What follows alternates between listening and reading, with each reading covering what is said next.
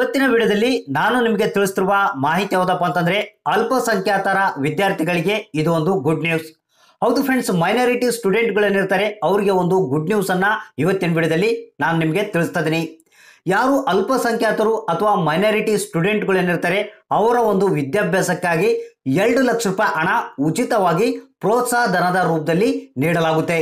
ಇದಕ್ಕೆ ಸಂಬಂಧಪಟ್ಟಂತೆ ಸಂಪೂರ್ಣವಾದಂಥ ಮಾಹಿತಿಯನ್ನ ಇವತ್ತಿನ ವಿಡಿಯೋದಲ್ಲಿ ತಿಳಿಸ್ಕೊಡ್ತಾ ಇದ್ದೀನಿ ಅಂದ್ರೆ ಮೈನಾರಿಟಿ ಅಥವಾ ಅಲ್ಪಸಂಖ್ಯಾತರ ವಿದ್ಯಾರ್ಥಿಗಳು ಈ ಒಂದು ಎರಡು ಲಕ್ಷ ರೂಪಾಯಿ ಉಚಿತವಾದಂಥ ಪ್ರೋತ್ಸಾಹಧನವನ್ನು ಪಡೆಯೋದಕ್ಕೆ ಯಾವ ರೀತಿ ಆನ್ಲೈನ್ನಲ್ಲಿ ಅರ್ಜಿ ಸಲ್ಲಿಸೋದು, ಮತ್ತೆ ಏನೆಲ್ಲ ಎಲಿಜಿಬಿಲಿಟಿಯನ್ನ ವಿದ್ಯಾರ್ಥಿಗಳು ಹೊಂದಿರಬೇಕು, ಮತ್ತೆ ವಿದ್ಯಾರ್ಥಿಗಳ ಹತ್ರ ಯಾವ್ಯಾವ ದಾಖಲಾತಿಗಳು ಇರಬೇಕಾಗುತ್ತೆ ಆನ್ಲೈನ್ನಲ್ಲಿ ಅರ್ಜಿ ಸಲ್ಲಿಸುವಂತ ಪ್ರಕ್ರಿಯೆ ಯಾವ ರೀತಿ ಮಾಡಬೇಕು ಅನ್ನೋದ್ರ ಬಗ್ಗೆ ಸಂಪೂರ್ಣವಾದಂಥ ಡೀಟೇಲ್ಸ್ನ ನಾನು ನಿಮಗೆ ತಿಳಿಸ್ಕೊಡ್ತೀನಿ. ಅದಕ್ಕಿಂತ ಮುಂಚಿತವಾಗಿ ನೀವು ನಮ್ಮ ಚಾನಲ್ನ ಸಬ್ಸ್ಕ್ರೈಬ್ ಆಗಿಲ್ಲ ಅಂದರೆ ಕೆಳಗಡೆ ರೆಡ್ ಬಟನ್ ಸಬ್ಸ್ಕ್ರೈಬ್ ಅಂತ ಇರುತ್ತೆ ಅದ್ರ ಮೇಲೆ ಕ್ಲಿಕ್ ಮಾಡಿ, ನಂತರ ಬೆಲ್ಲೈಕನ್ ಮೇಲೆ ಕ್ಲಿಕ್ ಮಾಡಿ, ಅಲ್ಲಿ ಆಲ್ ನೋಟಿಫಿಕೇಶನ್ ಅಂತ ಸೆಲೆಕ್ಟ್ ಮಾಡ್ಕೊಳ್ಳಿ. ಬನ್ನಿ ಫ್ರೆಂಡ್ಸ್ ವಿಡಿಯೋನ ಶುರು ಮಾಡೋಣ. ಫ್ರೆಂಡ್ಸ್ ಮೊದಲಿಗೆ ಅಲ್ಪಸಂಖ್ಯಾತರ ವಿದ್ಯಾರ್ಥಿಗಳು ಅಂದ್ರೆ ಯಾರು ಅಥವಾ ಮೈನಾರಿಟಿ ಸ್ಟೂಡೆಂಟ್ಗಳು ಅಂದರೆ ಯಾರು ಅನ್ನೋದನ್ನ ನಾನು ನಿಮಗೆ ತಿಳಿಸ್ಕೊಡ್ತೀನಿ. ಫ್ರೆಂಡ್ಸ್ ಇಲ್ಲಿ ನೋಡ್ತಿರ್ಬೋದು ಮುಸ್ಲಿಮ್ಸು ಕ್ರಿಶ್ಚಿಯನ್ನು ಬೌದ್ಧ ಧರ್ಮದವರು, ಮತ್ತು ಜೈನರು, ಮತ್ತು ಸಿಖ್ರು ಹಾಗೂ ಫಾರ್ಸಿಯನ್ಸು ಇವರು ಏನಿದ್ದಾರೆ? ಈ ಒಂದು ಸ್ಟೂಡೆಂಟ್ಗಳೇನಿದ್ದಾರೆ ಇವರು ಅಲ್ಪಸಂಖ್ಯಾತರ ವಿದ್ಯಾರ್ಥಿಗಳು ಅಥವಾ ಮೈನಾರಿಟಿ ಸ್ಟೂಡೆಂಟ್ಗಳು ಅಂದ್ರೆ ಈ ಒಂದು ಕೆಟಗರಿಯಲ್ಲಿ ಬರುವಂತ ವಿದ್ಯಾರ್ಥಿಗಳೇನಿರ್ತಾರೆ? ಏನು ರಾಷ್ಟ್ರೀಯ ಉನ್ನತ ಶಿಕ್ಷಣ ಸಂಸ್ಥೆಗಳಲ್ಲಿ ಓದ್ತಿರ್ಬೇಕು ಕಂಪಲ್ಸರಿ ಅಂದ್ರೆ ರಾಷ್ಟ್ರೀಯ ಉನ್ನತ ಶಿಕ್ಷಣ ಸಂಸ್ಥೆಗಳಂದ್ರೆ ಯಾವ್ಯಾವು? ಅಂದ್ರೆ ಇಲ್ಲಿ ನೋಡ್ತಿರ್ಬೋದು, I I T, I I I T, ಮತ್ತೆ N I T, I I M, ಮತ್ತೆ I I S E R, ಮತ್ತೆ A I I M S, ಮತ್ತೆ ಎನ್ ಎಲ್ ಯು ಮತ್ತೆ ಐ ಎನ್ ಐ, ಮತ್ತೆ I U S L A, ಈ ಒಂದು ರಾಷ್ಟ್ರೀಯ ಉನ್ನತ ಶಿಕ್ಷಣ ಸಂಸ್ಥೆಗಳಲ್ಲಿ ಈ ಒಂದು ಮೈನಾರಿಟಿ ಸ್ಟೂಡೆಂಟ್ಗಳೇನಿರ್ತಾರೆ ವಿದ್ಯಾಭ್ಯಾಸವನ್ನ ಮಾಡ್ತಾ ಇರಬೇಕು. ಹೌದು ಫ್ರೆಂಡ್ಸ್ ಈ ಒಂದು ಕಂಡೀಷನ್ನ ಬಹಳಷ್ಟು ಗಮನ ಇಟ್ಟು ನೀವು ಕೇಳಬೇಕು. ಈ ಒಂದು ಮೈನಾರಿಟಿ ಸ್ಟೂಡೆಂಟ್ಗಳು ಈ ಒಂದು ರಾಷ್ಟ್ರೀಯ ಉನ್ನತ ಶಿಕ್ಷಣ ಸಂಸ್ಥೆಗಳಲ್ಲಿ ಓದ್ತಿರುವಂತ ವಿದ್ಯಾರ್ಥಿಗಳಿಗೆ ಈ ಒಂದು ಎರಡು ಲಕ್ಷ ರೂಪಾಯಿ ಉಚಿತವಾದಂಥ ಪ್ರೋತ್ಸಾಹ ಧನವನ್ನ ಇಲ್ಲಿ ನೀಡಲಾಗುತ್ತೆ. ಅಂದ್ರೆ ಮೈನಾರಿಟಿ ಸ್ಟೂಡೆಂಟ್ಸ್ ಅಥವಾ ಅಲ್ಪಸಂಖ್ಯಾತರ ವಿದ್ಯಾರ್ಥಿಗಳೇನಿರ್ತಾರೆ ಈ ಒಂದು ಎರಡು ಲಕ್ಷ ರೂಪಾಯಿ ಉಚಿತವಾದಂತ ಪ್ರೋತ್ಸಾಹ ಧನವನ್ನ ಪಡೆಯೋದಕ್ಕೆ ಯಾವ ರೀತಿ ಆನ್ಲೈನ್ನಲ್ಲಿ ಅರ್ಜಿಯನ್ನ ಸಲ್ಲಿಸೋದು, ಮತ್ತೆ ಇದಕ್ಕೆ ಏನೆಲ್ಲ ಎಲಿಜಿಬಿಲಿಟಿಯನ್ನ ಹೊಂದಿರಬೇಕು, ಮತ್ತೆ ಯಾವೆಲ್ಲ ದಾಖಲಾತಿಗಳು ಬೇಕು ಅನ್ನೋದನ್ನ ಒಂದೊಂದಾಗಿ ನಾನು ನಿಮಗೆ ನೀಟಾಗಿ ತಿಳಿಸ್ಕೊಡ್ತೀನಿ. ಅಂದ್ರೆ ಇದರ ಒಂದು ಲಿಂಕ್ ಅನ್ನ ಡಿಸ್ಕ್ರಿಪ್ಷನ್ ಬಾಕ್ಸ್ನಲ್ಲಿ ಹಾಕಿರ್ತೀನಿ. ಅಲ್ಲಿಂದ ನೀವು ಡೈರೆಕ್ಟ್ ಆಗಿ ಓಪನ್ ಮಾಡ್ಕೊಂಡು ಆನ್ಲೈನ್ನಲ್ಲಿ ಅರ್ಜಿಯನ್ನ ಸಲ್ಲಿಸಬಹುದು ಫ್ರೆಂಡ್ಸ್ ಮೊದಲಿಗೆ ನೀವು ಈ ಒಂದು ಅಫಿಷಿಯಲ್ ವೆಬ್ಸೈಟ್ ಅನ್ನ ಓಪನ್ ಮಾಡಿದ ಮೇಲೆ ಮೊದಲಿಗೆ ನಿಮ್ಮ ಇಮೇಲ್ ಐಡಿ ಅನ್ನ ಹಾಕಿ ಅಂತ ಕೇಳುತ್ತೆ. ನಿಮ್ಮ ಇಮೇಲ್ ಐಡಿ ಅನ್ನ ನೀವು ಇಲ್ಲಿ ಹಾಕಬೇಕು. ಹಾಕಿದ ನಂತರ ಇಲ್ಲಿ ಕೆಳಗಡೆ ಬಂದ್ರೆ ಎಲಿಜಿಬಿಲಿಟಿ ಕ್ರೈಟೇರಿಯ ಅಂತ ಕೊಟ್ಟಿದ್ದೇನೆ. ಅಂದ್ರೆ ವಿದ್ಯಾರ್ಥಿಗಳು ಯಾವ್ಯಾವ ಎಲಿಜಿಬಿಲಿಟಿಯನ್ನ ಹೊಂದಿರಬೇಕು ಅಥವಾ ಅರ್ಹತೆಗಳನ್ನ ಹೊಂದಿರಬೇಕು ಅನ್ನೋದನ್ನ ಒಂದೊಂದಾಗಿ ನಾನು ನಿಮಗೆ ತಿಳಿಸ್ಕೊಡ್ತೀನಿ.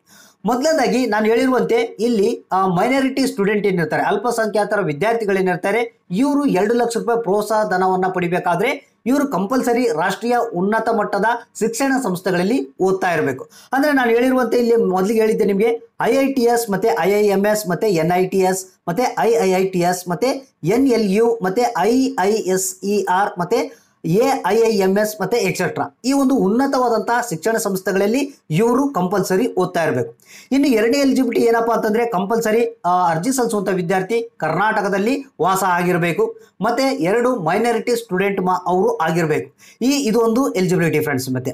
ಇನ್ನು ಮೂರನೇದು ಕಂಪಲ್ಸರಿ ಈ ಒಂದು ಎರಡು ಲಕ್ಷ ರೂಪಾಯಿ ಪ್ರೋತ್ಸಾಹನ ಹಣವನ್ನ ಪಡಿಬೇಕಾದ್ರೆ ಮೈನಾರಿಟಿ ಸ್ಟೂಡೆಂಟ್ಗಳು ಅಲ್ಪಸಂಖ್ಯಾತರ ವಿದ್ಯಾರ್ಥಿಗಳೇನಿರ್ತಾರೆ ಅವರು ಮಾತ್ರ ಅರ್ಜಿಯನ್ನ ಸಲ್ಲಿಸ್ಬೋದು.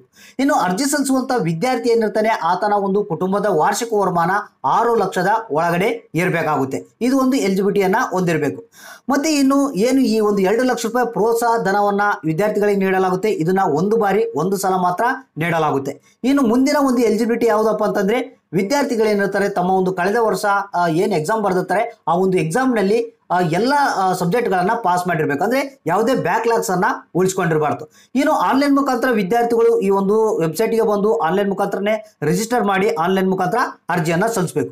ಇಷ್ಟೆಲ್ಲ ಎಲಿಜಿಬಿಲಿಟಿಗಳು ವಿದ್ಯಾರ್ಥಿಗಳು ಹೊಂದಿದ್ರೆ ಮಾತ್ರ ಈ ಒಂದು ಎರಡು ಲಕ್ಷ ರೂಪಾಯಿ ಪ್ರೋತ್ಸಾಹ ಧನವನ್ನು ಪಡೆಯೋದಕ್ಕೆ ಅರ್ಜಿಯನ್ನ ಸಲ್ಲಿಸಬಹುದು ಹಾಗೂ ಅದೇ ರೀತಿಯಾಗಿ ಮೈನಾರಿಟಿ ವಿದ್ಯಾರ್ಥಿಗಳು ಅಥವಾ ಅಲ್ಪಸಂಖ್ಯಾತರ ವಿದ್ಯಾರ್ಥಿಗಳು ಈ ಒಂದು ಎರಡು ಲಕ್ಷ ರೂಪಾಯಿ ಉಚಿತವಾದಂತಹ ಪ್ರೋತ್ಸಾಹಧನವನ್ನು ಪಡಿಬೇಕಾದ್ರೆ ಆನ್ಲೈನ್ನಲ್ಲಿ ಅರ್ಜಿಯನ್ನು ಸಲ್ಲಿಸೋದಕ್ಕೆ ಏನೆಲ್ಲ ಡಾಕ್ಯುಮೆಂಟ್ಗಳು ಇರಬೇಕನ್ನೋದನ್ನ ಒಂದೊಂದಾಗಿ ನಾನು ನಿಮಗೆ ತಿಳಿಸ್ಕೊಡ್ತೀನಿ. ಮೊದಲನೇದಾಗಿ ನಿಮ್ಮ ಒಂದು cash and income certificate compulsory ನಿಮ್ಮ ಹತ್ರ ಇರಬೇಕು. ಮತ್ತೆ ಎರಡನೇದು ವಸತಿ ಪ್ರಮಾಣ ಪತ್ರ ಅಂತ ಇರುತ್ತೆ. ಆ ಒಂದು ವಸತಿ ಪ್ರಮಾಣ ಪತ್ರ ನಿಮ್ಮ ಹತ್ರ ಕಂಪಲ್ಸರಿ ಇರಬೇಕಾಗುತ್ತೆ. ಮತ್ತೆ ಸ್ಟೂಡೆಂಟ್ಗೆ ಸಂಬಂಧಪಟ್ಟಂತ ಡ್ರೈವಿಂಗ್ ಲೈಸೆನ್ಸ್ ಆಗಿರ್ಬೋದು ವೋಟರ್ ಐ ಡಿ ಆಗಿರ್ಬೋದು, ರೇಷನ್ ಕಾರ್ಡ್ ಆಗಿರ್ಬೋದು, ಇವು ಮೂರುಗಳಲ್ಲಿ ಯಾವುದಾದ್ರೂ ಒಂದು ಇರಬೇಕಾಗುತ್ತೆ. ಮತ್ತೆ ನಿಮ್ಮ ಒಂದು ಇನ್ಸ್ಟಿಟ್ಯೂಟ್ ಅಂದ್ರೆ ನೀವು ಏನು ಓದ್ತಾ ಇರ್ತದೆ ಆ ಒಂದು ಇನ್ಸ್ಟಿಟ್ಯೂಟ್ನಲ್ಲಿ ಕೊಟ್ಟಿರುವಂತ ಐಡೆಂಟಿ ಕಾರ್ಡ್ ಏನಿರುತ್ತೆ ಅದು ಕಂಪಲ್ಸರಿ ನಿಮ್ಮ ಹತ್ರ ಇರಬೇಕಾಗುತ್ತೆ ಐಡೆಂಟಿ ಕಾರ್ಡು ಅದ್ರಲ್ಲಿ ಅದ್ರ ಜೊತೆಗೆ ನಿಮಗೆ ಎಸ್ ಎಸ್ ಎಲ್ ಸಿ ಮತ್ತೆ P U C marks card compulsory ನಿಮ್ಮ ಹತ್ರ ಇರಬೇಕು. ಇನ್ನು ಮತ್ತೆ ಸ್ಟಡಿ ಸರ್ಟಿಫಿಕೇಟ್, ನಿಮ್ಮ ಇನ್ಸ್ಟಿಟ್ಯೂಟ್ನಲ್ಲಿ ಏನು ಸ್ಟಡಿ ಸರ್ಟಿಫಿಕೇಟ್ನ ಕೊಟ್ಟಿರ್ತಾರೆ, ಆ ಒಂದು ಸ್ಟಡಿ ಸರ್ಟಿಫಿಕೇಟ್ ನಿಮ್ಮ ಹತ್ರ ಕಂಪಲ್ಸರಿ ಇರಬೇಕು. ಸ್ಟಡಿ ಸರ್ಟಿಫಿಕೇಟ್ ನಿಮ್ಮ ಹತ್ರ ಇಲ್ಲ ಅಂತಂದ್ರೆ ಈ ಒಂದು ವೆಬ್ಸೈಟ್ ಮುಖಾಂತರ ನೀವು ಈ ಒಂದು ಸ್ಟಡಿ ಸರ್ಟಿಫಿಕೇಟ್ನ ಕೂಡ ಡೌನ್ಲೋಡ್ ಮಾಡ್ಕೊಳ್ಳೋಕೆ ಆಪ್ಷನ್ ಅನ್ನ ಕೊಟ್ಟಿದ್ದಾರೆ.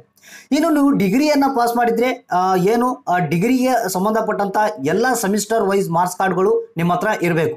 ಒಂದು ವೇಳೆ ನನ್ನ ನೀವು ಪೋಸ್ಟ್ ಗ್ರಾಜುಯೇಷನ್ ಪಾಸ್ ಮಾಡಿದ್ರೆ, ಪೋಸ್ಟ್ ಪೋಸ್ಟ್ ಗ್ರಾಜುಯೇಷನ್ಗೆ ಸಂಬಂಧಪಟ್ಟಂತ ಎಲ್ಲ ಸೆಮಿಸ್ಟರ್ ವೈಸ್ ಮಾರ್ಕ್ಸ್ ಕಾರ್ಡ್ಗಳು ನಿಮ್ಮ ಹತ್ರ ಕಂಪಲ್ಸರಿ ಇರಬೇಕು. ಇನ್ನು ಅದ್ರ ಜೊತೆಗೆ fee receipt and admission receipt ಅಂದ್ರೆ ಏನು ಅಡ್ಮಿಷನ್ ಮಾಡಿಸೋಂಥ ಟೈಮ್ಗೆ ಫೀಯನ್ನು ಕಟ್ಟಿರ್ತೀರ ಆ ಒಂದು ಫೀ ರಿಸಿಪ್ಟ್ ನಿಮ್ಮ ಹತ್ರ ಕಂಪಲ್ಸರಿ ಇರಬೇಕಾಗುತ್ತೆ. ಇನ್ನು ವಿದ್ಯಾರ್ಥಿಯ ಬ್ಯಾಂಕ್ ಪಾಸ್ಬುಕ್ ನಿಮ್ಮ ಹತ್ರ ಇರಬೇಕು, ಮತ್ತೆ ಅದ್ರ ಜೊತೆಗೆ ಆಧಾರ್ ಕಾರ್ಡ್ ಇರಬೇಕು ಮತ್ತೆ ನೀವು ಏನು ಕಾಂಪಿಟೇಟಿವ್ ಎಕ್ಸಾಮ್ ಬರ್ದಿರ್ತೀರಾ, ಆ ಒಂದು ಕಾಂಪಿಟೇಟಿವ್ ರಿಸಲ್ಟ್ ಸೀಟ್ ಏನಿರುತ್ತೆ, ಅದು ನಿಮ್ಮ ಹತ್ರ ಕಂಪಲ್ಸರಿ ಇರಬೇಕಾಗುತ್ತೆ. ಇಷ್ಟು ದಾಖಲಾತಿಗಳು ಇತ್ತಪ್ಪ ಅಂತಂದ್ರೆ, ಈ ಒಂದು ಎರಡು ಲಕ್ಷ ರೂಪಾಯಿ ಪ್ರೋತ್ಸಾಹಧನ ಹಣವನ್ನು ಪಡೆಯೋದಕ್ಕೆ ನೀವು ಆನ್ಲೈನ್ನಲ್ಲಿ ಅರ್ಜಿಯನ್ನು ಸಲ್ಲಿಸಬಹುದು ಫ್ರೆಂಡ್ಸ್ ನಂತರ ವಿದ್ಯಾರ್ಥಿಗಳು, ಇಲ್ಲಿ ಎಲಿಜಿಬಿಲಿಟಿ ಮತ್ತೆ ಡಾಕ್ಯುಮೆಂಟ್ಗಳು ಯಾವ್ಯಾವ ಬೇಕಂತ ನೋಡ್ಕೊಂತ ಬಂದ್ರೆ, ಇಲ್ಲಿ ಕೆಳಗಡೆ ನೆಕ್ಸ್ಟ್ ಅಂತ ಒಂದು ಆಪ್ಷನ್ ಕಾಣುತ್ತೆ. ಈ ಒಂದು ನೆಕ್ಸ್ಟ್ ಆಪ್ಷನ್ ಮೇಲೆ ನೀವು ಕ್ಲಿಕ್ ಮಾಡಬೇಕು. ಅಂದ್ರೆ ಟೋಟಲ್ ಆಗಿ ಇಲ್ಲಿ ಐದು ಸ್ಟೆಪ್ಗಳು ಇರುತ್ತೆ. ಐದು ಸ್ಟೆಪ್ಗಳನ್ನ ನೀವು ಒಂದೊಂದಾಗಿ ಕ್ಲಿಯರ್ ಮಾಡ್ಕೊಬೇಕು ಈಗ ಇಲ್ಲಿ ಒಂದೇ ಸ್ಟೆಪ್ ನೆಕ್ಸ್ಟ್ ಅಂತ ಇದೆಯಲ್ಲ, ಇದ್ರ ಮೇಲೆ ಕ್ಲಿಕ್ ಮಾಡಿ. ಫ್ರೆಂಡ್ಸ್ ನಂತರ ನಾವು ಎರಡನೇ ಸ್ಟೆಪ್ಗೆ ಇಲ್ಲಿ ಬಂದಿದ್ವಿ. ಎರಡನೇ ಸ್ಟೆಪ್ನಲ್ಲಿ ಪರ್ಸನಲ್ ಡೀಟೇಲ್ಸ್ ಕೇಳುತ್ತೆ. ನೋಡ್ತಿರ್ಬೋದು ಇಲ್ಲಿ ಪರ್ಸನಲ್ ಡೀಟೇಲ್ಸ್ ಅಂತ. ಅಂದರೆ ಸ್ಟೂಡೆಂಟ್ ನೇಮನ್ನು ಕೇಳುತ್ತೆ ಸ್ಟೂಡೆಂಟ್ ನೇಮನ್ನು ಹಾಕಬೇಕು, ಮತ್ತೆ ನಿಮ್ಮ ಡೇಟ್ ಆಫ್ ಬರ್ತನ್ನ ಹಾಕಬೇಕು, ನಂತರ ನೀವು ಮೇಲ್ ಫಿಮೇಲ್ ಅನ್ನೋದನ್ನ ಸೆಲೆಕ್ಟ್ ಮಾಡ್ಕೊಬೇಕು ನಂತರ ನಿಮ್ಮ ಒಂದು ಹುಟ್ಟಿದ ಪ್ಲೇಸ್ ಯಾವುದು ಅನ್ನೋದನ್ನ ಕೇಳುತ್ತೆ, ನಿಮ್ಮ ವಿಲೇಜ್ ಯಾವುದು ಡಿಸ್ಟಿಕ್ ಯಾವುದು ಅನ್ನೋದನ್ನ ಇಲ್ಲಿ ಲಿಸ್ಟಿಂದ ಸೆಲೆಕ್ಟ್ ಮಾಡ್ಕೊಬೇಕು ನಂತರ ನಿಮ್ಮ ಸ್ಟೇಟ್ ಯಾವುದು, ಮತ್ತೆ ನಿಮ್ಮ ಊರಿನ ಪಿನ್ ಕೋಡ್ ಯಾವುದು ಅನ್ನೋದನ್ನ ಹಾಕಬೇಕು, ನಂತರ ನಿಮ್ಮ ತಂದೆ ಹೆಸರು, ತಾಯಿ ಹೆಸರನ್ನ ಕೇಳುತ್ತೆ, ಹಾಕಬೇಕು, ಮತ್ತೆ ನಿಮ್ಮ ತಂದೆ ತಾಯಿ ಏನು ಕೆಲಸ ಮಾಡ್ತಾರೆ ಅನ್ನೋದನ್ನ ಹಾಕಬೇಕು, ಮತ್ತೆ ನಿಮ್ಮ ಕುಟುಂಬದ ವಾರ್ಷಿಕ ವರಮಾನ ಎಷ್ಟಿದೆ ಅನ್ನೋದನ್ನ ಇಲ್ಲಿ ಹಾಕಬೇಕು, ನಂತರ ನಿಮ್ಮ ಕ್ಯಾಸ್ಟ್ ಯಾವುದು, ಇಲ್ಲಿ ಲಿಸ್ಟಲ್ಲಿ ಹಲವಾರು ರೀತಿಯ ಕ್ಯಾಸ್ಟ್ಗಳು ಬೀಳುತ್ತೆ, ನಿಮ್ಮ ಕ್ಯಾಸ್ಟ್ ಯಾವ್ದು ಬರುತ್ತೆ ಅನ್ನೋದನ್ನ ನೀವು ಇಲ್ಲಿ ಸೆಲೆಕ್ಟ್ ಮಾಡ್ಕೊಳ್ಬೇಕು. ನಂತರ ನಿಮ್ಮ Aadhaar card number mobile number ಮತ್ತೆ ಇಮೇಲ್ ಐ ಡಿನ ಕೇಳುತ್ತೆ, ಇದನ್ನೆಲ್ಲ ಹಾಕಬೇಕು. ನಂತರ ನಿಮ್ಮ ಅಡ್ರೆಸ್ ಅನ್ನ ಕೇಳುತ್ತೆ ಅಡ್ರೆಸ್ ಅನ್ನ ಹಾಕಬೇಕು. ಅಂದ್ರೆ ನಿಮ್ಮ ಒಂದು ಸಿಟಿ ಯಾವುದು, ತಾಲೂಕ್ ಯಾವುದು ಡಿಸ್ಟಿಕ್ ಯಾವುದು ಸ್ಟೇಟ್ ಯಾವುದು, ಮತ್ತೆ ನಿಮ್ಮ ಊರಿನ ಪಿನ್ ಕೋಡ್ ನಂಬರ್ನ ಹಾಕಬೇಕು. ಮತ್ತೆ ಪರ್ಮನೆಂಟ್ ಅಡ್ರೆಸ್ ಕೂಡ ಕೇಳುತ್ತೆ ಸೇಮ್ ಅಡ್ರೆಸ್ನ ನೀವು ಅದೇ ರೀತಿ ಇಲ್ಲಿ ಮೇಲೆ ಏನು ಫಿಲ್ ಫುಲ್ಫಿಲ್ ಮಾಡಿದ್ರಿ, ಅದನ್ನೇ ಫುಲ್ಫಿಲ್ ಮಾಡಬೇಕು. ನಂತರ ಮತ್ತೆ ನೆಕ್ಸ್ಟ್ ಅಂತ ಇದೆಯಲ್ಲ, ಈ ಒಂದು ಆಪ್ಷನ್ ಮೇಲೆ ಕ್ಲಿಕ್ ಮಾಡಬೇಕು. ಫ್ರೆಂಡ್ಸ್ ನಂತರ ನಾವು ಮೂರನೇ ಸ್ಟೆಪ್ಪಿಗೆ ಇಲ್ಲಿ ಬಂದಿದ್ವಿ. ಇಲ್ಲಿ ನೋಡ್ತಿರ್ಬೋದು ಅಕೌಂಟ್ ಡೀಟೇಲ್ಸ್ನ ಕೇಳುತ್ತೆ. ಅಂದರೆ ನಿಮ್ಮ ಬ್ಯಾಂಕ್ ಹೆಸರನ್ನ ಹಾಕಬೇಕು. ನಿಮ್ಮ ಒಂದು ಬ್ಯಾಂಕ್ ಅಕೌಂಟ್ ಯಾವ ಬ್ಯಾಂಕ್ ಅಕೌಂಟ್ ನಿಮ್ಮ ಅಕೌಂಟು ಯಾವ ಬ್ಯಾಂಕ್ನಲ್ಲಿ ಇದೆ ಅಂತ ಬ್ಯಾಂಕ್ ಹೆಸರನ್ನ ಹಾಕಬೇಕು. ಮತ್ತೆ ಆ ಒಂದು ಬ್ಯಾಂಕ್ ಬ್ರಾಂಚ್ ನೇಮನ್ನು ಹಾಕ್ಬೇಕು, ಯಾವ ಊರಿನಲ್ಲಿದೆ ಅಂತ. ಮತ್ತೆ ನಿಮ್ಮ ಒಂದು ಬ್ಯಾಂಕ್ ಅಕೌಂಟ್ ನಂಬರ್ನ ಹಾಕಬೇಕು. Bank I F S code ನಂಬರ್ನ ಹಾಕಬೇಕು.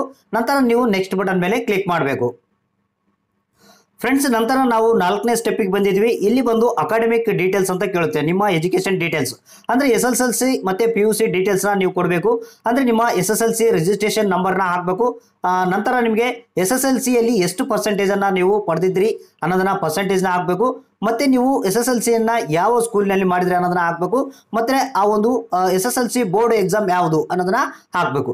ನಂತರ P U C details P U C register ನಂಬರ್ನ ಹಾಕಬೇಕು. ಪಿ ಯು ಸಿಯಲ್ಲಿ ಎಷ್ಟು ಪರ್ಸೆಂಟೇಜನ್ನು ಪಡೆದಿದ್ರಿ, ಮತ್ತೆ ಪಿ ಯು ಸಿ ಯಾವ ಕಾಲೇಜ್ನಲ್ಲಿ ಮಾಡಿದ್ರಿ, ಮತ್ತೆ ಆ ಒಂದು ಎಜುಕೇಶನ್ ಬೋರ್ಡ್ ಯಾವುದು ಅನ್ನೋದನ್ನ ಹಾಕಬೇಕು. ಇಷ್ಟು ಹಾಕಿದ ನಂತರ ಮತ್ತೆ ಇಲ್ಲಿ ಕೆಳಗಡೆ ನಾಲ್ಕನೇ ಸ್ಟೆಪ್ ಕಂಪ್ಲೀಟ್ ಆಗುತ್ತೆ. ನೆಕ್ಸ್ಟ್ ಅಂತ ಕ್ಲಿಕ್ ಮಾಡಿ. ಫ್ರೆಂಡ್ಸ್ ನಂತರ ನಿಮಗೆ ಕೊನೆಯ ಸ್ಟೆಪ್ ಐದನೇ ಸ್ಟೆಪ್ ಇರುತ್ತೆ. ಐದನೇ ಸ್ಟೆಪ್ನಲ್ಲಿ ಗ್ರಾಜುಯೇಷನ್ ಡೀಟೇಲ್ಸ್ನ ಕೇಳುತ್ತೆ. ಇಲ್ಲಿ ನೋಡ್ತಿರ್ಬೋದು ಗ್ರಾಜುಯೇಷ್ ಗ್ರಾಜುಯೇಷನ್ ಡೀಟೇಲ್ಸ್ನ ಹಾಕಬೇಕು. ಅಂದ್ರೆ ನೀವು ಗ್ರಾಜುಯೇಷನ್ ಕೋರ್ಸನ್ನು ಮಾಡಿದ್ರೆ, ಯಾವ ಕೋರ್ಸನ್ನು ಮಾಡಿದ್ರಿ? ಮತ್ತೆ ಆ ಒಂದು ಗ್ರಾಜುಯೇಷನ್ ಕೋರ್ಸ್ನಲ್ಲಿ ಎಷ್ಟು ಪರ್ಸೆಂಟೇಜನ್ನು ತೆಗೆದಿದ್ರಿ? ಮೋಡ್ ಆಫ್ ಎಂಟ್ರಿ ಅಂದರೆ ಏನು ಕಾಂಪಿಟೇಟಿವ್ ಎಕ್ಸಾಮ್ ಬರ್ದಿದ್ರಾ ಅಥವಾ ಅದರ್ಸ್ ಎಕ್ಸಾಮ್ ಬರ್ದಿದ್ರಾ ಅನ್ನೋದನ್ನ ಸೆಲೆಕ್ಟ್ ಮಾಡ್ಕೊಬೇಕು ಮತ್ತೆ ಕಾಂಪಿಟೇಟಿವ್ ಎಂಟ್ರೆನ್ಸ್ ಎಕ್ಸಾಮ್ನ ಯಾವ ವರ್ಷದಲ್ಲಿ ಬರ್ದಿದ್ರಿ? ಆ ಒಂದು ಕಾಂಪಿಟೇಟಿವ್ ಎಂಟ್ರೆನ್ಸ್ ಎಕ್ಸಾಮ್ನ ಒಂದು ರಿಜಿಸ್ಟ್ರೇಷನ್ ಐ ಡಿ ನಂಬರ್ನ ಹಾಕಬೇಕು. ಮತ್ತು ಎಷ್ಟನೇ ರ್ಯಾಂಕ್ನಲ್ಲಿ ನೀವು ಎಂಟ್ರೆನ್ಸ್ ಎಕ್ಸಾಮ್ನ ಹೊಂದಿದ್ರಿ. ಎಂಟ್ರೆನ್ಸ್ ಎಕ್ಸಾಮ್ನಲ್ಲಿ ಎಷ್ಟನೇ ರ್ಯಾಂಕ್ ಬಂದಿತ್ತು ನಿಮಗೆ? ಅನ್ನೋದನ್ನ ಹಾಕಬೇಕು. ಮತ್ತೆ name of the department entrance exam ಬರ್ದಿರ್ತಾರ ಆ ಒಂದು ಡಿಪಾರ್ಟ್ಮೆಂಟ್ ಯಾವುದು? ಅನ್ನೋದನ್ನ ಹಾಕಬೇಕು. ಮತ್ತೆ ಇನ್ಸ್ಟಿಟ್ಯೂಟ್ ಯಾವುದು? ಅನ್ನೋದನ್ನ ಹಾಕಬೇಕಾಗುತ್ತೆ. ನಂತರ ಪೋಸ್ಟ್ ಗ್ರಾಜುಯೇಷನ್ ಬಗ್ಗೆ ಮಾಹಿತಿ ಕೇಳುತ್ತೆ. ಪೋಸ್ಟ್ ಗ್ರಾ ಗ್ರಾಜುಯೇಷನ್ನ ನೀವು ಮಾಡಿದ್ರೆ ಇದನ್ನ ತುಂಬೋದು, ಇಲ್ಲಾಂದ್ರೆ ನಾಟ್ ಅಪ್ಲಿಕೇಬಲ್ ಅಂತ ಇದೆಯಲ್ಲ, ನಾಟ್ ಅಪ್ಲಿಕೇಬಲ್ ಅಂತ, ಎಲ್ಲ ಕಾಲಮ್ಗಳನ್ನ ನಾಟ್ ಅಪ್ಲಿಕೇಬಲ್ ಅಂತ ಬಿಟ್ಟರು ಕೂಡ ನಡೆಯುತ್ತೆ. ನೀವು ನಂತರ ಇಲ್ಲಿ ಕೆಳಗಡೆ ಬರಬೇಕಾಗುತ್ತೆ ಫುಲ್ಲು ಪೋಸ್ಟ್ ಗ್ರಾಜುಯೇಷನ್ ಬಗ್ಗೆ ನಿಮಗೆ ನೀವು ಮಾಡಿಲ್ಲ ಅಂತಂದ್ರೆ ನಾಟ್ ಅಪ್ಲಿಕೇಬಲ್ ಅಂತ ಹಾಕಿ ಡಿಕ್ಲರೇಷನ್ ಅಂತ ಇರುತ್ತೆ, ಇಲ್ಲಿ ನೋಡ್ತಿರ್ಬೋದು ಎಸ್ ಅಂತ ಒಂದು ಕಾಲಮ್ ಇದೆ. ಜಸ್ಟ್ ಇದನ್ನ ಸೆಲೆಕ್ಟ್ ಮಾಡ್ಕೊಬೇಕು ಸೆಲೆಕ್ಟ್ ಮಾಡ್ಕೊಂಡು ಏನು ಮಾಡಬೇಕು? ಐದನೇ ಸ್ಟೆಪ್ ಇಲ್ಲಿ ಕಂಪ್ಲೀಟ್ ಆಗ್ತಾ ಇದೆ. ಜಸ್ಟ್ ಸಬ್ಮಿಟ್ ಅಂತ ನೀವು ಕ್ಲಿಕ್ ಮಾಡಬೇಕು. ಸಬ್ಮಿಟ್ ಅಂತ ಕ್ಲಿಕ್ ಮಾಡಿದ ಮೇಲೆ ನಿಮಗೆ ಏನಿರುತ್ತೆ ನಿಮಗೆ? ಈ ಒಂದು ಅಪ್ಲಿಕೇಶನ್ ನೀವು ಏನು ಫುಲ್ಫಿಲ್ ಮಾಡಿರ್ತೀರಾ? ಅದಕ್ಕೆ ಸಂಬಂಧಪಟ್ಟಂತೆ ಒಂದು ಪ್ರಿಂಟ್ಔಟ್ ಬರುತ್ತೆ ಫ್ರೆಂಡ್ಸ್ ನೀವು. ಈ ಒಂದು ಪ್ರಿಂಟ್ಔಟ್ನ ನೀವು ತೆಗೆದುಕೊಳ್ಬೇಕಾಗುತ್ತೆ. ಈ ಒಂದು ಪ್ರಿಂಟ್ಔಟ್ನ ತೆಗೆದುಕೊಳ್ಳೋದು ಬಹಳಷ್ಟು ಇಂಪಾರ್ಟೆಂಟ್ ಫ್ರೆಂಡ್ಸ್ ನಿಮಗೆ. ಅಂದರೆ ಈ ಒಂದು ಪ್ರಿಂಟ್ಔಟ್ನ ತೆಗೆದುಕೊಂಡು ನೀವು ಏನು ಮಾಡ್ಬೇಕು ಅನ್ನೋದನ್ನ ನಾನು ನಿಮಗೆ ತಿಳಿಸ್ಕೊಡ್ತೀನಿ. ಫ್ರೆಂಡ್ಸ್ ನೀವು ಆನ್ಲೈನ್ನಲ್ಲಿ ಅರ್ಜಿಯನ್ನು ಸಲ್ಲಿಸೋದು ಆದಮೇಲೆ ಆ ಒಂದು ಪ್ರಿಂಟ್ಔಟ್ನ ತೆಗೆದುಕೊಂಡಿರ್ತೀರಲ್ಲ, ನೀವು ಇಲ್ಲಿ ನೋಡ್ತಿರ್ಬೋದು ಒಂದು ಸೆಂಟೆನ್ಸ್ ಅನ್ನ ಕೊಡಲಾಗಿದೆ ಇಲ್ಲಿ ಎಲಿಜಿಬಿಲಿಟಿ ಕ್ರೈಟೇರಿಯಾ ಮೇಲೆ. ಅಂದರೆ ನೀವು ಪ್ರಿಂಟ್ಔಟ್ನ ತೆಗೆದುಕೊಂಡ ಮೇಲೆ ಅದನ್ನ ಮೇಲ್ ಮಾಡಬೇಕು. ಈ ಒಂದು ಸಂಸ್ಥೆಗೆ ಸಂಬಂಧಪಟ್ಟಂತೆ ಒಂದು ಮೇಲ್ ಐ ಇರುತ್ತೆ. ಆ ಒಂದು ಮೇಲಿಗೆ ಈ ಒಂದು ಪ್ರಿಂಟ್ಔಟ್ನ ತೆಗೆದುಕೊಂಡಿರ್ತಾರಲ್ಲ, ಅದನ್ನ ಅಟ್ಯಾಚ್ ಮಾಡಿ ನೀವು ಮೇಲ್ ಮಾಡಬೇಕು. ಅಂದರೆ ಈ ಒಂದು, ಆ ಮೇಲ್ ಐ ಡಿ ಯಾವುದು ಅನ್ನೋದನ್ನ ಇಲ್ಲಿ ತೋರಿಸ್ಕೊಡ್ತೀನಿ ನಿಮಗೆ. ಫ್ರೆಂಡ್ಸ್ ಪ್ರಿಂಟ್ಔಟ್ನ ತೆಗೆದ ಮೇಲೆ ಇಲ್ಲಿ ನೋಡ್ತಿರ್ಬೋದು ನಿಮಗೆ ಮೈನಾರಿಟೀಸ್ ಅಂತ ಒಂದು ಏನು ಈ ಒಂದು ಅಫಿಷಿಯಲ್ ವೆಬ್ಸೈಟ್ ಅನ್ನ ಓಪನ್ ಮಾಡ್ಕೊಬೇಕು ಇಲ್ಲಿ ಹೆಲ್ಪ್ ಲೈನ್ ನಂಬರ್ ಇದೆ, ಅದ್ರ ಕೆಳಗಡೆ ಒಂದು ಇಮೇಲ್ ಐ ಡಿ ಕೂಡ ಇದೆ. ಆ ಒಂದು ಇಮೇಲ್ ಐ ಡಿಗೆ ನೀವೇನು ಮಾಡಬೇಕು? ಒಂದು ನೀವು ಪ್ರಿಂಟೌಟ್ನ ತೆಗೆದುಕೊಂಡಿರ್ತಾರಲ್ಲ ಅಟ್ಯಾಚ್ ಮಾಡಿ ಈ ಒಂದು ಇಮೇಲ್ ಐ ಡಿಗೆ ನೀವು ಮೇಲ್ ಮಾಡಬೇಕು. ಅಂದರೆ ನಿಮಗೆ ಇದಕ್ಕೆ ಸಂಬಂಧಪಟ್ಟಂತೆ ಇನ್ನೂ ಒಂದು ಹೆಚ್ಚಿನ ಒಂದು ಡೌಟ್ಸ್ ಇತ್ತು, ಏನಾದರೂ ಮಾಹಿತಿ ಬೇಕಪ್ಪ ಅಂತಂದರೆ ಇಲ್ಲಿ ಟೋಲ್ ಫ್ರೀ ನಂಬರ್ ಇರುತ್ತೆ. ಈ ಒಂದು ಟೋಲ್ ಫ್ರೀ ನಂಬರ್ಗೆ ಕರೆ ಮಾಡ್ಬೋದು. ಇಲ್ಲಾಂದರೆ ನೀವು ತೆಗೆದುಕೊಂಡಂಥ ಪ್ರಿಂಟೌಟ್ನ ಈ ಒಂದು ಇಮೇಲ್ ಐ ಡಿಗೆ ನೀವು ಆ ಒಂದು ಪ್ರಿಂಟೌಟ್ನ ಅಟ್ಯಾಚ್ ಮಾಡಿ ಮೇಲ್ ಮಾಡಬೇಕಾಗುತ್ತೆ. ಈ ರೀತಿಯಾಗಿ ಮೈನಾರಿಟಿ ಸ್ಟೂಡೆಂಟ್ಸ್ ಅಥವಾ ಅಲ್ಪಸಂಖ್ಯಾತರ ವಿದ್ಯಾರ್ಥಿಗಳೇನಿರ್ತಾರೆ, ಈ ಒಂದು ಉಚಿತವಾದಂಥ ಎರಡು ಲಕ್ಷ ರೂಪಾಯಿ ಪ್ರೋತ್ಸಾಹನ ಪಡೆಯೋದಕ್ಕೆ ಆನ್ಲೈನ್ ಮುಖಾಂತರ ಅರ್ಜಿಯನ್ನು ಸಲ್ಲಿಸಬಹುದು ಫ್ರೆಂಡ್ಸ್ ಈ ವಿಡಿಯೋ ಈ ಮಾಹಿತಿ ನಿಮಗೆ ಇಷ್ಟ ಆಗಿತ್ತಂದ್ರೆ ಒಂದು ಲೈಕ್ ಮಾಡಿ